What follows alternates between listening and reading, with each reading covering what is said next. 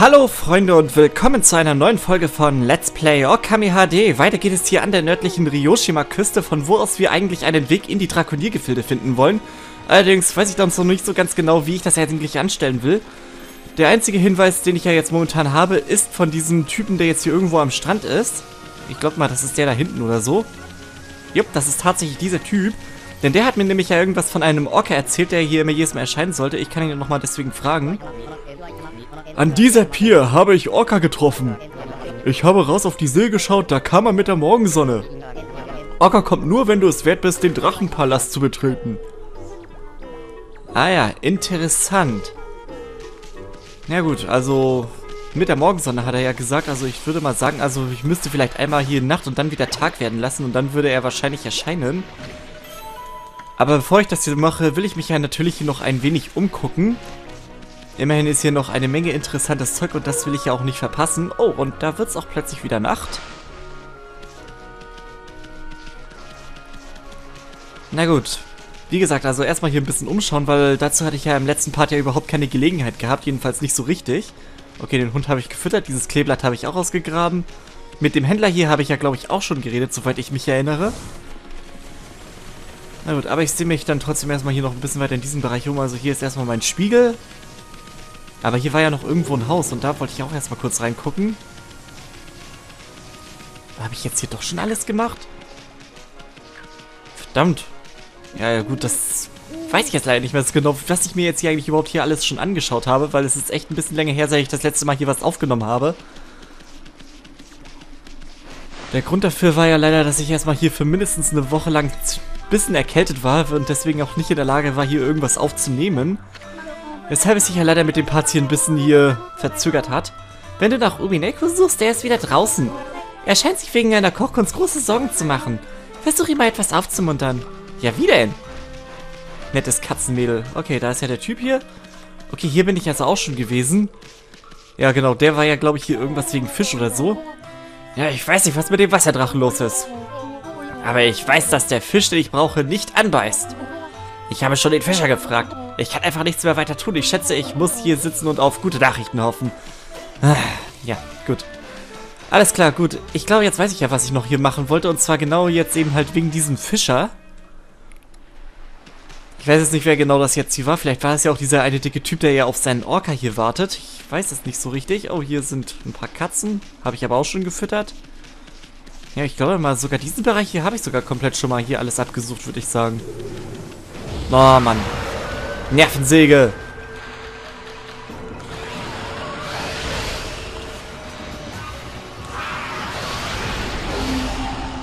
Du hast aber auch eigentlich nichts Besseres zu tun, als mich hier zu stören, oder?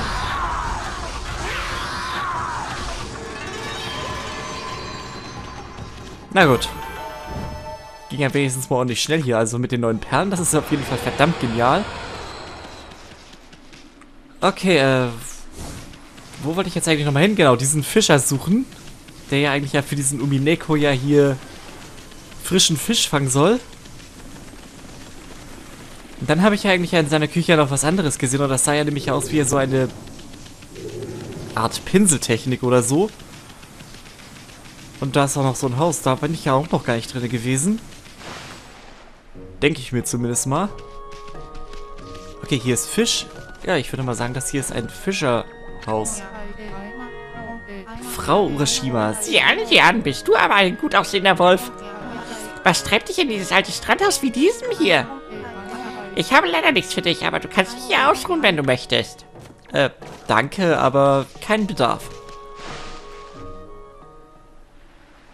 Meine Mission erfüllt sich ja schließlich nicht, indem ich hier einfach nur rumliege und nichts tue. Und hier kann ich ein paar Schweinchen füttern. Gut, dann nehmen wir einfach mal hier so eine Ladung Samen. Skippen das mal wieder schnell. Und bekomme erstmal wieder hier ordentlich Glück. Und ich müsste mal kurz gucken. Äh, Tintenfässer, genau. Ich brauche hier insgesamt 400, um hier die letzte, um das letzte Fass hier zu kriegen. Und dann will ich erstmal überlegen, was ich als nächstes aufwerten möchte. Den Geldbeutel vielleicht? Wäre ja gar nicht mal so schlecht. Aber ich denke mal, ich werde mich als nächstes mal hier auf meine äh, Lebensenergie mal konzentrieren. Okay, äh, wo war ich jetzt stehen geblieben? Genau, erstmal hier kurz beim Pier gucken.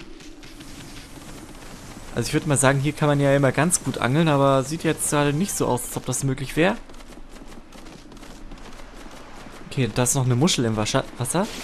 Muschel im Wasser, genau.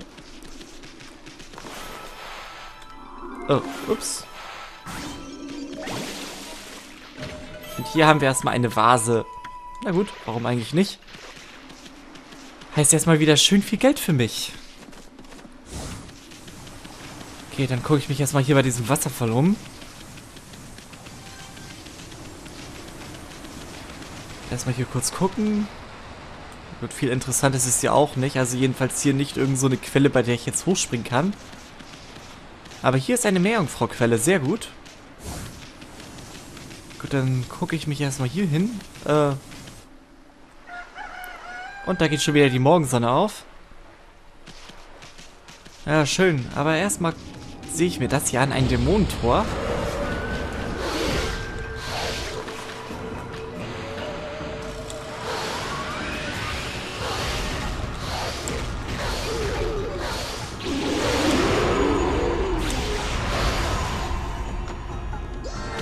Okay, ein erledigt, der andere...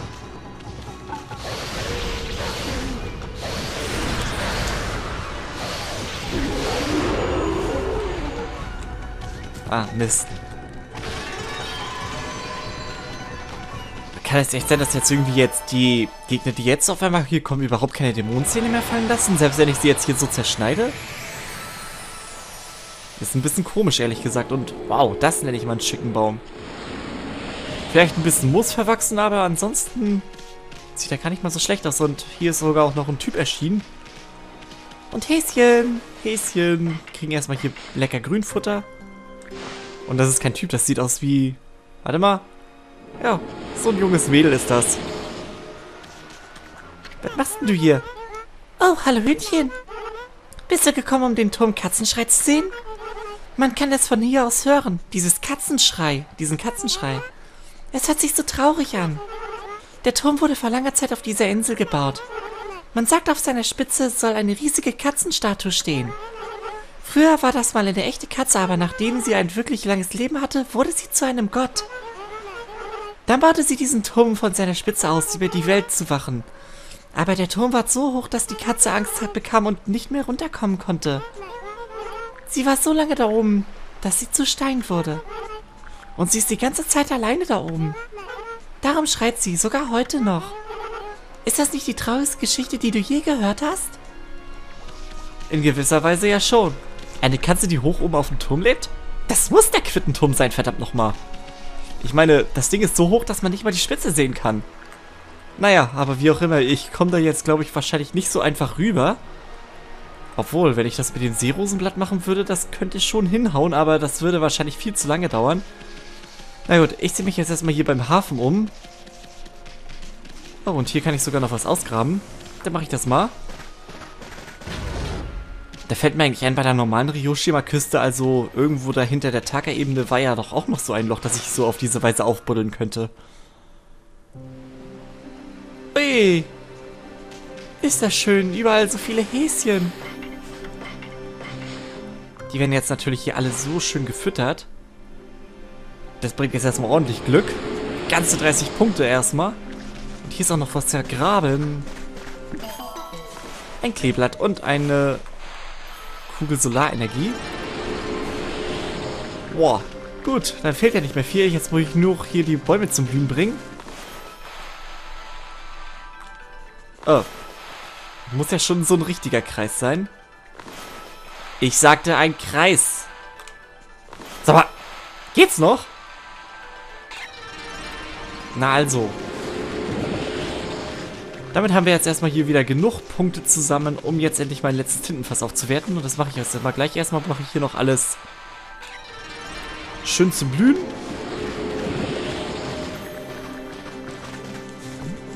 Oh, falsche Stelle.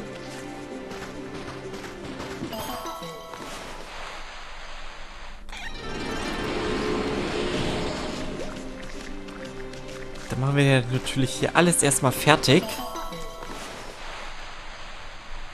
Wird das hier auch nochmal schön zum Blühen bringen. Und damit hätten wir das hier schon mal. Hier ist ein goldener Pfirsich drinne. Ah, sehr gut. Eine verstreute Perle. Und wir haben noch eine Wind Wildschweinstatue. Eine der 13 Sternzeichenschätze, kennen wir alles. Und gibt es einen bestimmten Grund, warum jetzt dieser Stein hier ist? Ist das ein Grab oder so? Tja, gute Frage. Sonst ist hier ja nichts weiter. Na gut, dann werden wir uns erstmal hier darum kümmern, dass ich mein letztes Tintenfass aufwerte. Es ist voll. Ja, gut, damit hätten wir das also schon mal erledigt. Also Tintenfässer, darum brauche ich mich jetzt gar nicht mehr kümmern. Also erstmal nichts wie raus hier wieder.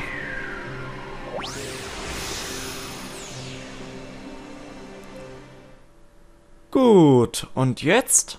Ja, würde ich mal sagen, es ist langsam mal Zeit, dass ich mich jetzt um diesen Orca kümmere oder um wen es sich dabei handelt. Oh, und was sagt man dazu? Dich kenne ich doch. Nun, das ist doch ein Gesicht, das ich kenne. Wir haben uns ja schon lange nicht mehr gesehen, Hündchen. Hey, du bist doch der Apfeltyp, der an der großen Zugbrücke war. Wir haben dich nicht in die Stadt gesehen. Was machst du denn hier? Äh, nun, äh, ich habe meine Meinung seitdem total geändert.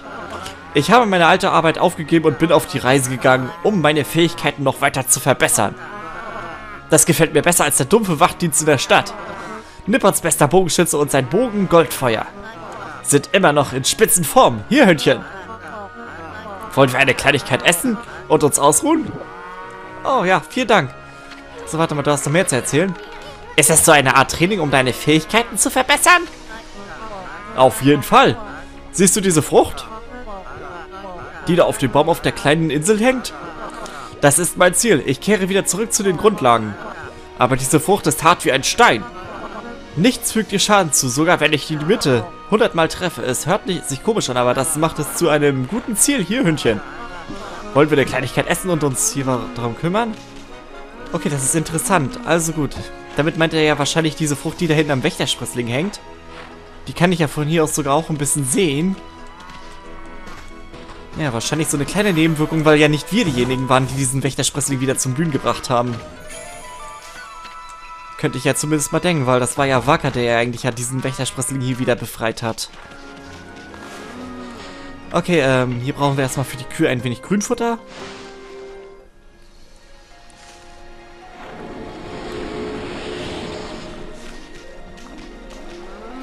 Gut, und äh, was ist eigentlich überhaupt hier mit dem Wasser los? Ist das normal, dass das so komisch gelb ist?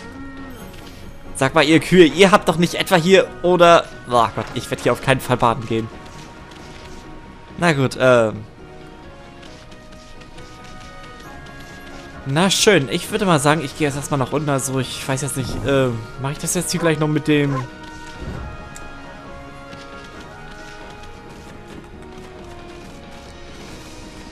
Mit dem Wächtersprössling, aber erstmal will ich mal mich hier rum kümmern. Oh, ups. Entschuldigung. So, dann werde ich erstmal hier was ausprobieren. Er ist, der Typ hat ja gesagt, Orca würde er mit der Morgensonne erscheinen. Deswegen probiere ich mal hier was. Mal kurz einen Tag-Nachtwechsel hier vollziehen und dann werden wir gleich mal sehen, was passiert.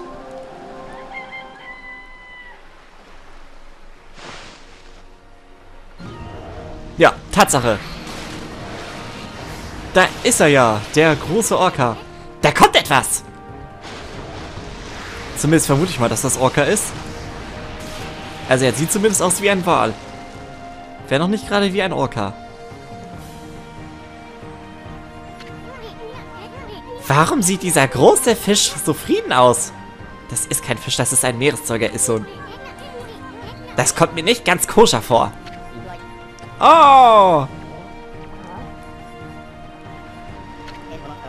Orca! Orca, du bist es! Wir haben uns ja schon lange nicht mehr gesehen. Ich habe aufgehört, die Jahre zu, zu zählen. Bist du gekommen, um mich wieder zum Dra Drachenpalast zu bringen?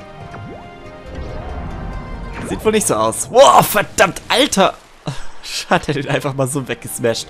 Äh, Orca? Das ist der Gesandte oder was auch immer, der Dra der Drakonier? Sieht wohl ganz so aus. Boah, wie anmutig. Drachenpalastgesandter Orca.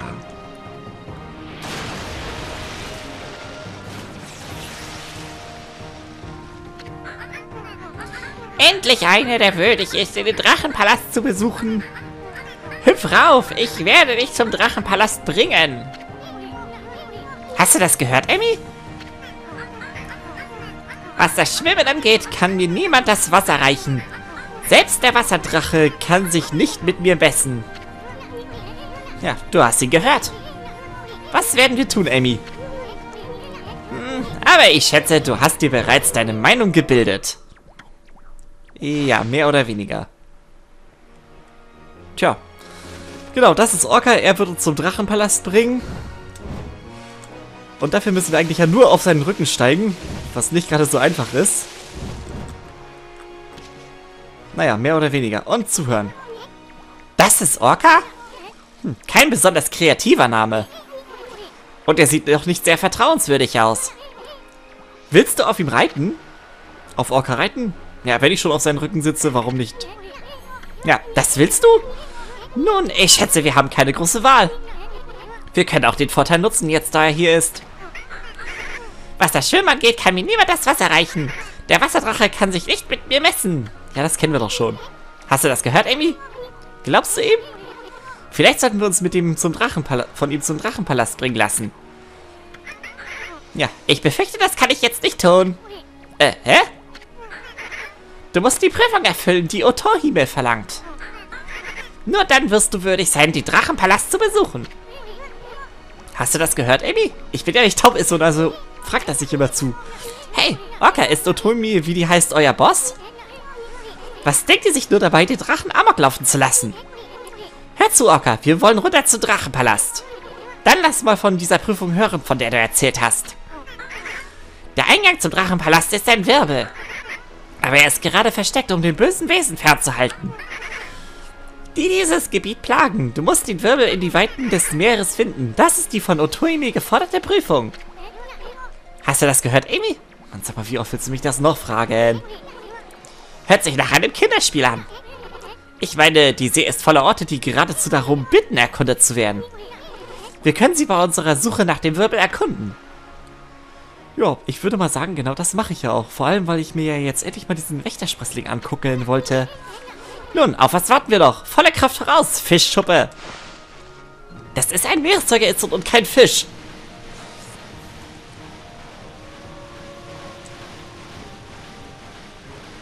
Na gut, dann wollen wir erstmal kurz gucken. Also erstmal will ich ja hier, wie gesagt, auf die Insel vom Wächterspessling rauf, aber erstmal muss ich hier eine Anlegestelle finden und da ist ja auch eine. Von Orca runter? Ja, bitte.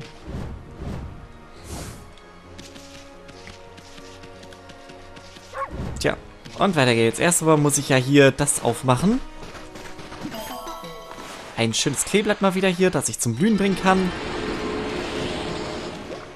Und dann habe ich ja hier noch eine Kiste mit einem Reiseglücksbringer drinne. Sehr gut. Was habe ich hier noch?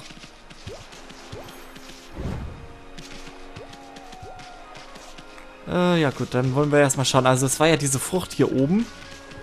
Bin ich ja mal gespannt. Und, Mann, ich höre ja von hier aus immer noch diese olle Katze da hinten beim Turm heulen.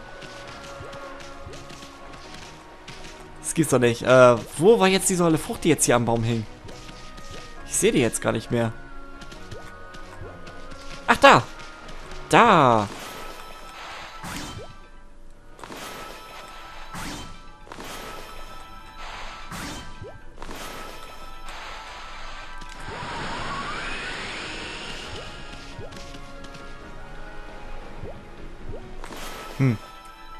Das ist komisch.